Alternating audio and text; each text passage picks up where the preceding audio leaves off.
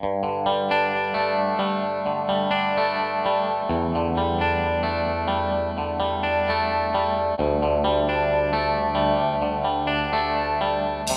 YouTube and welcome back. In this video we're going to be talking about converting cylinder heads to unleaded. So when we convert a set of cylinder heads to unleaded, what are we doing and why are we doing it? Well, one of the reasons that we're doing it is back in the day there was leaded fuel. Lead actually helped absorb some of the shock of the valve hitting the seat. So it actually had lead in there, lead is soft, and it actually protected the parts. We started removing lead from our fuel, so we started to remove some of the protection that is in our fuel, which is the lead, to help protect the valves and the seats. Also, back in the day we had cylinder heads that had a lot more nickel in them, and the higher the nickel content, the stronger the seats are.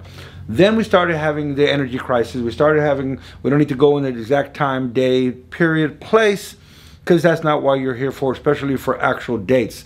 But back in the day, 76-ish, and they started to remove um, nickel content from the cylinder heads and the blocks for several reasons. One is cost, also the weight. Nickel is heavier than a non-nickel block. We don't need to get there and don't give me any things about how much stuff weighs, how much nickel weighs, as opposed to all that being said or not being said, uh, we started pulling nickel content out, which made the, the cast a lot softer. And then we started to remove the lead out of our fuel. So two and two combined, two and two make four. Um, you didn't come here for your math either. This particular set of FE cylinder heads has never had a valve job. And the seats are actually beautiful. I'll probably put a picture right in there, zoom in on the seats, and they're in great shape. Here's the valves. It's never been apart. Early model Thunderbird, real low miles. Here's the problem. I know that now it's going to be a driver, and uh, instead of adding lead additive into your fuel, they sell a little bottle of lead additive. I might even put a picture of a bottle of lead additive. Um, and you put into your fuel, and that kind of helps it a little bit. Well, like I like to say, that's all great if you don't mind spending money at the pump every single time for a Band-Aid, while it's in right now, it's going to be cost effective for us to convert them over to unleaded. What am I going to do to convert them over to unleaded? Is I'm going to get rid of these vials. A, they're hammered quite a bit. Could they go through a valve job? Yes, they could. They'll be a little on the thin side, being exhaust. You're probably going to burn a valve. Right off the bat, I'm going to go and put a modern valve in it. When you buy the modern valves, I'm getting these from EPW, you get Ferreas, you get uh, Manley's, whatever valve that you get, they're now, it's a better valve anyway. They're generally a stainless valve. This isn't a stainless valve, but it's a factory replacement valve, and they have a better head at the bottom of the valve. All that being said, little, little, little tip of the day. Did you know that the valve head is not the same material as the stem? If you notice that all factory valves, they have a fat spot right in here. That fat spot that you're seeing right in there, that fat spot is the weld. This is welded onto the stem. So you got a hump right there because that's the weld. So you have two dissimilar metals. Why is it that the head is welded onto the stem? The reason is it's a it's a, a better material to handle the heat. Okay, this is also a factory replacement, so you can see the hump is a lot less. So when we go to a performance valve, we're going to put in a one-piece valve. The more spring pressure we have, we don't want to drop a valve by hammering it all the time and it coming apart. Generally, all modern valves now, especially in performance, are going to be a one-piece valve. So the valves that are made nowadays to replace these valves um, are a better quality valve and it's made for unleaded. So I'm replacing all the exhaust valves. I'm not replacing the intake valves because A, they don't have much wear on them and they're perfectly fine to go in an unleaded world. We're, we're not going to have that problem. The problem we start having is with the heat on the seat and the valve and it just, the unleaded fuel without the lead, um, the exhaust temperature is going to be up a little bit hotter, especially on the valve and the seat. You didn't come here to get specifics like how much hotter. And if you did, sorry, um, I don't know the specifics, but I do know that um, they do run a lot hotter and drier without the lead in it. So what are we going to do? We're going to put in a seat. Uh, seat looks like a ring. The seat material is a lot better and it can handle heat a lot better. So what we're going to do is we're going to machine the cylinder head and let me bring you a little closer on the cylinder head and tell you what we're going to do. Let's just go ahead and get down on it. So here we are. Here we have a cylinder head. As you can tell by the seats, and I may even get a little closer, they don't even have any wear on them. I shouldn't say any, but I've never seen seats this really, really preserved. Um, we could actually do a valve job, put it back in, in, into service. If this was a restoration that we didn't even want to convert to unleaded, this this set of heads could be converted to, uh, to unleaded with just adding lead additive. But once again, we're not doing that. So what we're going to do is we're going to machine the seat. A factory seat is cast in the head. Back in the day when we started getting into 76, 77, 78, 79, 80s, what they started doing is induction hardening the seat. So if you look at uh, cylinder heads that are induction hardened, you'll notice that around the exhaust seats, they're a different color. And all they're doing is uh, essentially heating up the seat area and changing the temperament of the exhaust seat. It's still cast in the head, they removed, you know, some of the nickel from the head to make up for it. They heat inducted, hardened the seat, making it harder, and it does. It did work, and it lasts. What is the problem with that? If there is a problem with that, I don't know how close you want to be or not be, but it's only so deep so when you do a valve job and you cut the seat, you could be cutting out the heat hardness induction heating there because um, it's not very deep into the seat because it's not a replacement seat. It's just been heat treated. So essentially think of heat treating is only so deep and depending on how much you grind on the seat or machine, you could machine the hardness away. What we're going to do is we're going to come in here and cut this out, machine it. I'll put it on the machine. We'll come back on. You can see me cutting the seat. I'll talk a little bit about it. You know me, I'll probably talk a lot about it. And then we're going to press in this better quality seat into the head. Now we can do as many jobs as we want, and we're not going to be getting into the hardness of the seat because it's a different material. We're only doing it on the exhaust because that's the only place that it's necessary. We're going to machine it, we're going to press that in, do a job, and then we'll be good to go. All right, I don't know if that was too much of an explanation. I think the best thing, the way I like to do it, is put it on the machine and then I'll talk you through it as I'm doing it. And this is how we convert a cylinder head to unleaded fuel the right way. I'm not saying that any of y'all doing it the wrong way, so maybe I shouldn't have added that. Let's go over to the machine. So when we're converting these heads for unleaded fuel, we need to change the exhaust seat. When we talk about a simple part of this video, which is installing the seat, the press fit. Some of the issues that people have dropping seats is specifically no other reason than not the right press fit. Even some manufacturers have a problem uh, figuring out what the press fit is. So I'm going to give you some insights, some tips all right, if you follow the press fit that I use, I've never dropped a seat. That doesn't mean that you're not going to drop a seat, but if you follow the press fit that I use, I don't think that you'll drop a seat. And we'll discuss a little bit of why the differences are.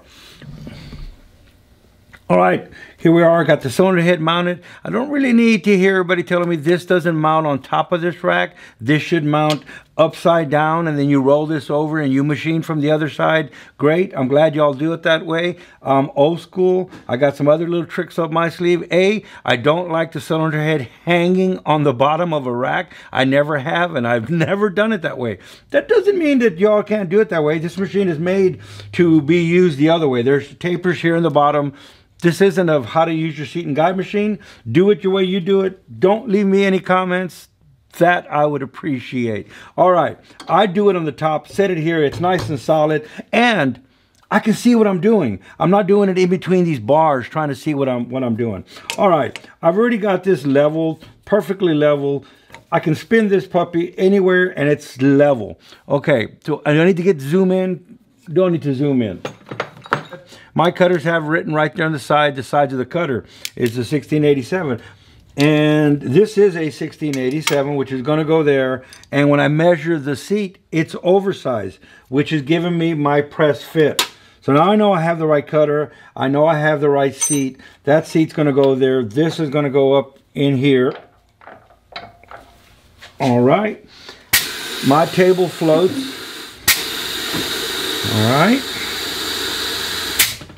But we're going to let the cutter just touch the top of the cylinder head. I'm going to lock it in and then I have up here a lock and I'm going to set this here And you can tell when you remove this, now it's only going to go in this deep here. So when it, this hits that, that stops there. And a little tip of the day, I always leave the seat sticking up just a hair and I like to top cut it. My tip of the day, you do whatever you want to do. Also, we've used this to cut other stuff uh, the last time, so I want to go ahead and check my speed. And that's way too fast. We want a slow speed. Watch my hands.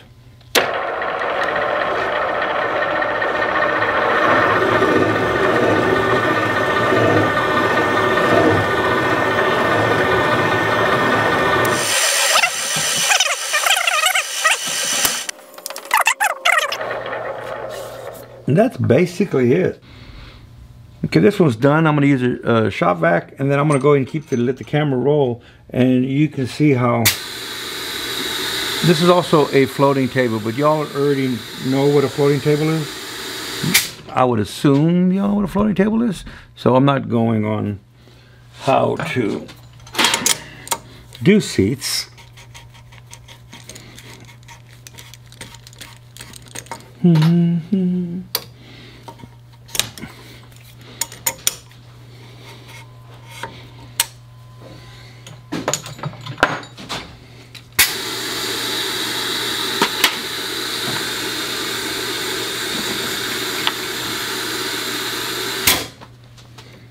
How nice is that? Yep, that's going to be the one. I'm good to go there. Let it touch. Put it in a seat up here. Pull the seat out. And there's my space of how far I'm going to go down. Ain't that pretty cool? Real old school, cool. Here we go.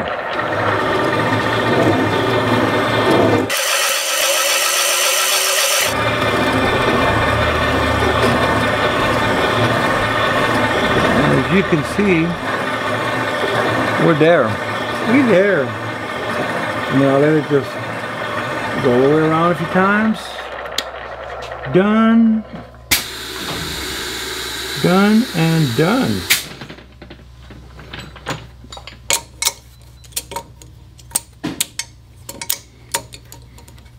Mm-hmm.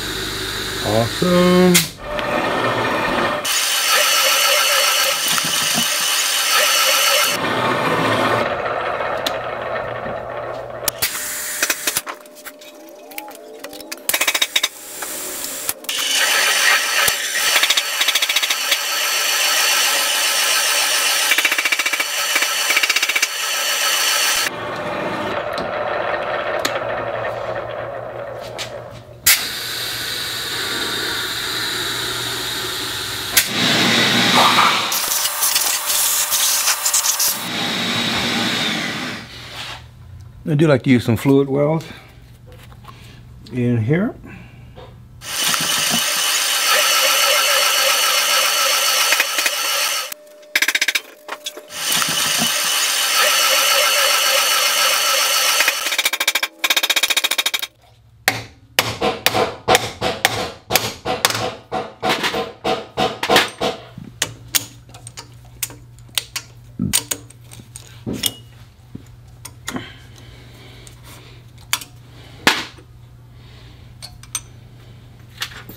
All right, Danny, now that you taught me the uh, Huh? It's okay. No, no, no worries.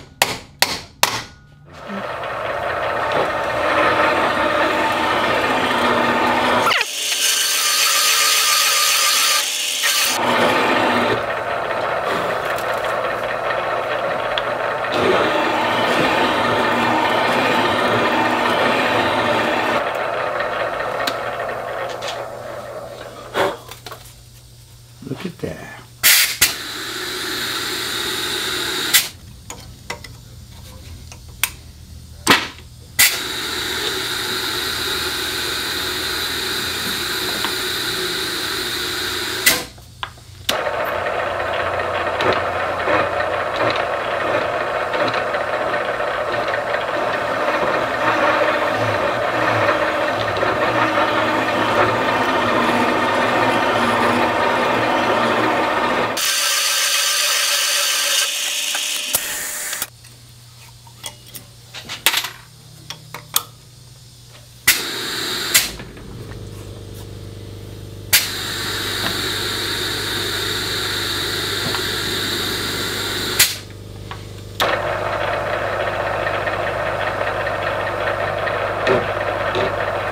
See how it's going up and down, up and down, up and down?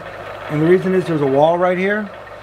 So as we're coming down, we're going with a bigger seat. There's a little wall right there. A little tip of the day. Reach up here to your little bar here that locks you in. See here? What I like to do is just snug it as I'm going in there. That way it's not going up and down, up and down, up and down, up and down, up and down. See that? And I got rid of that by just doing that. It stabilized my cutter from hopping up and down. Now I'm nice and flat and I don't need to do that anymore, but a little tip of the day, just snug your, your head. Easy now.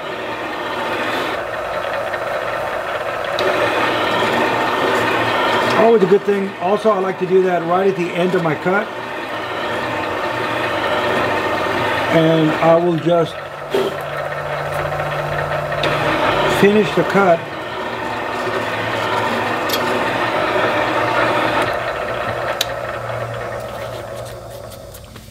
So right there at the end, and this is why there's two blades on this cutter. So as it's going around, you could actually start, and it just keep on repeating that same hump, repeating that same hump. Look at that, repeating that same hump.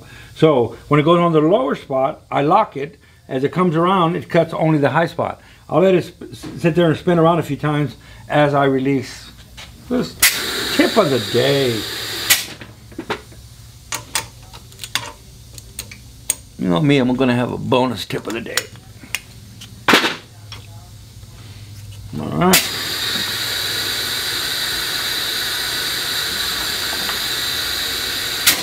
Also, don't let your cutter start right here at the wall. You could actually break a cutter. So I started over here sideways, sideways, and just started coming down slowly on it.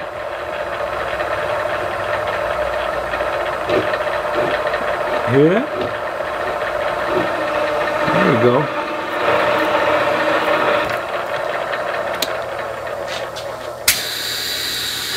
You might be wondering how that floats so easy. More tip of the days. Where is my my foot action right here? See that? Moves around effortlessly. It just floats. Done. Done. Who am I looking at? All right, we have the seats done. You've seen how I did it on cast iron. 4 thousandths press fit on aluminum, 7 thousandths press fit.